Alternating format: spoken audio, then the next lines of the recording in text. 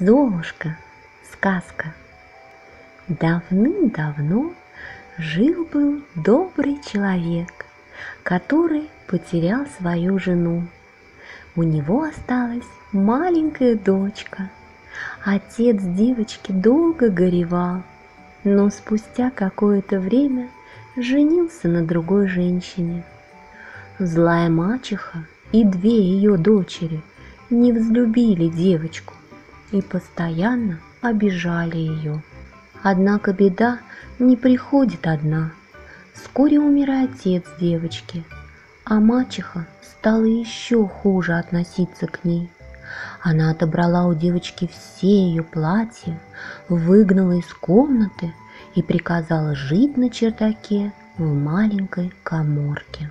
Девочка росла и безропотно выполняла самую тяжелую работу – она подметала, начищала кастрюли и котлы, мыла окна и полы, стирала, застилала кровати и выгребала золу из печки.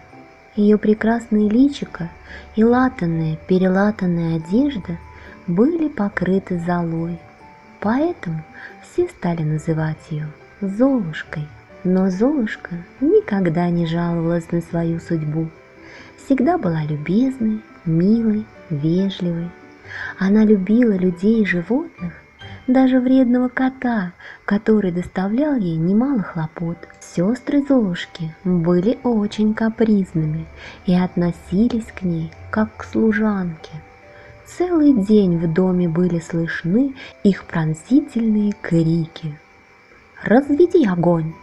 «Что это? Пятно? Скорее постирай это, грязнуля!» Я ужасно голодна. Где мой завтрак? Хватит лениться, заморашка. В королевстве, где жили Золушка, мачеха и ее дочери, правил старый король. В последнее время он был очень задумчив, и вот однажды правитель решительно объявил «Принцу пора жениться». Во дворце так пусто, так грустно и ужасно скучно – как же я хочу дождаться внуков. На следующее утро по городу разлетелась весть. Король созывает бал, чтобы найти принцу невесту. Правитель приказал, чтобы все незамужние девушки королевства явились в назначенный день во дворец. Все? Значит, и я пойду? Но у меня нет подходящего наряда.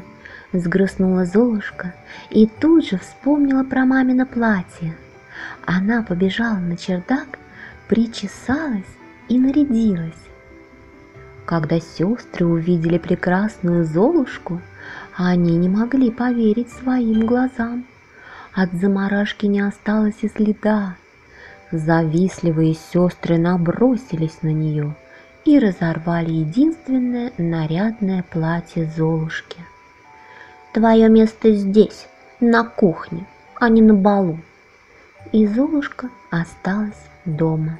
Бедняжка смотрела на свое разорванное платье и горько плакала. Вдруг, что это? Возле девушки появилась ее крестная, фея, и ласково сказала, «Не расстраивайся, дорогая, я помогу тебе» немного волшебства, и ты сможешь отправиться на бал. Фея взмахнула волшебной палочкой, и вместо большой тыквы появилась золотистая карета. Мыши превратились в лошадей, старый конь в кучера, а пес в лакея.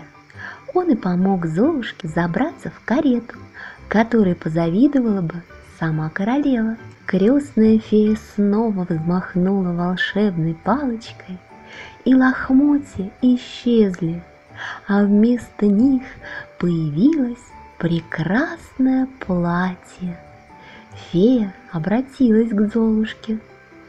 «Отправляйся на бал, но помни, как только часы пробьют полночь, платье превратится в лохмотье, а карета в тыкву. Когда Золушка появилась во дворце, все ахнули от удивления, а принц не мог отвести от нее взгляд. Он никогда не видел такой чудесной девушки. Принц решил, что непременно женится на незнакомке. Весь вечер принц танцевал только с Золушкой. Время летело так быстро. Золушке нужно было торопиться, ведь полночь совсем близко. Часы на башне уже начали отбивать двенадцать ударов. Еще мгновение, и чары развеются. Золушка бросилась к выходу, ведь времени было мало. Она так торопилась, что обронила на ступенях туфельку. Вот все и закончилось. Чары развеялись, карета, лошади, кучер, лакей исчезли, а вместо платья на Золушке снова появились лохмотья. И только хрустальная туфелька напоминала девушке о том, что это был не сон. Туфелька и огонь любви. Я чувствую, что принц тоже меня полюбил. Может, он найдет меня? Может, в один прекрасный день он постучится в мою дверь? Ведь в жизни, как в сказке, случаются чудеса. Я верю, что любовь победит все преграды, надеялась счастливая Золушка. Утром королевские глашатаи передали приказ принца. Девушка, которая потеряла хрустальную туфельку на королевском балу, станет моей женой. Кажется, это была Золушка, догадалась мачеха. Запру-ка я ее в комнате, и пусть себе плачет. Посланцы короля ходили по всему королевству. Все незамужние девушки должны были примерить туфельку, и та, кому она придется в пору, станет женой принца. Обе сестры попытались счастья, но туфелька была им мала.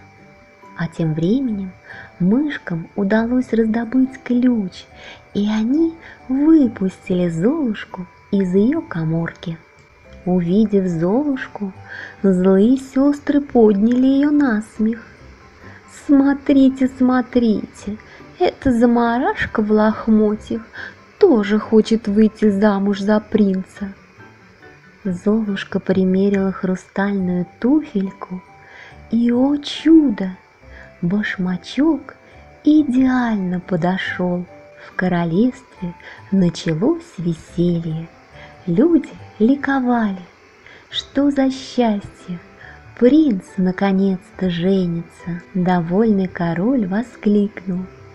Вот это чудо, честное слово! Завтра свадьба и веселье. В тот же день сыграли свадьбу.